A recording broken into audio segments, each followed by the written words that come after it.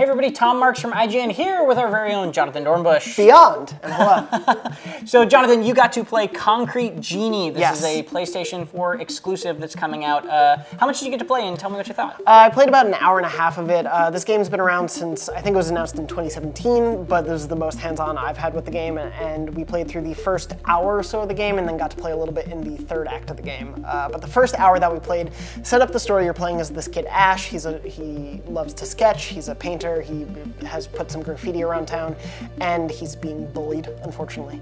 Uh, and the bullies rip out all the pages from his sketchbook, and then as he goes off to chase them, he stumbles upon the fact that some of these drawings are coming to life, and he gets a magical paintbrush that you as the player get to use to draw both these creatures that he's created, the genies, and as well as these painting backdrops. And that's kind of the main mechanic of this game is painting on the walls, creating these paintings. What did you think of that? Was it easy? Did it make you feel like you were actually creating cool things? Yeah, so I'm terrible at drawing. I cannot draw a straight line to save my life, but in this game, you basically get a palette of different options of items you can draw, uh, which increases as you find more pages throughout the game but you get to draw however you want to with those things. So if I want to draw a starry night, I can make those stars appear in whatever direction I want.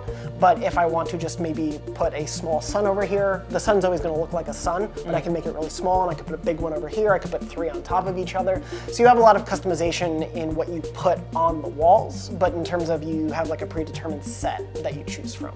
Uh, then you can also create the genies themselves. The genies are like these helper companions. They kind of act like your pet.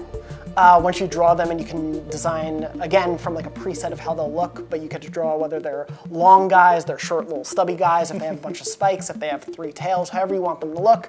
That'll also determine a bit of their personality, but they're always there to help you. They help you solve puzzles in the environment. Um, they'll help you bring more life back into the town, because essentially the goal of the game is, now that you have this magic, there's this weird dark thing taking over the town, you're trying to stop it and prevent it from overtaking the entirety of your hometown.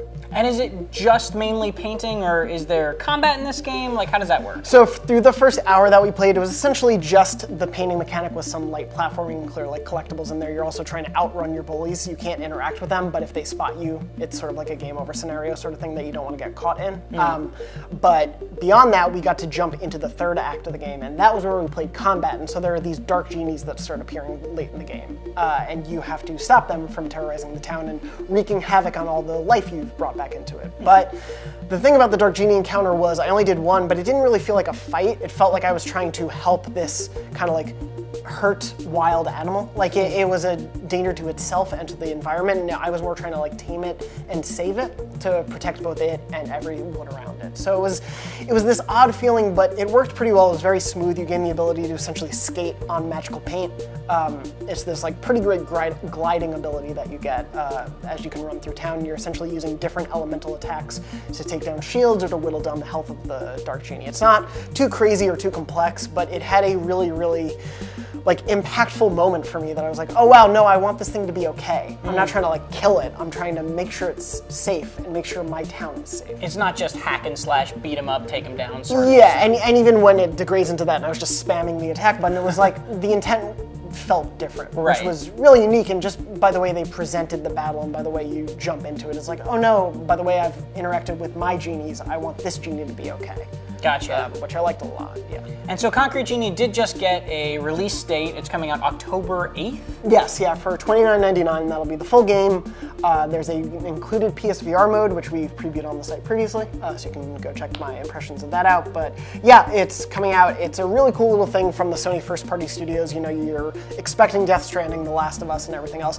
But there's this like nice, really positive, warm, sort of serene experience in there that I don't think uh, PS4 owners should miss uh, based on what I've played so far. Hey so. man, maybe Death Stranding is the most optimistic game. That's true. We don't, we don't know, know, yet. Yeah, that's very true. For more on Concrete Genie and other PlayStation exclusives, stay right here on IGN. What does IGN even mean anyway? It means whatever you want it to mean.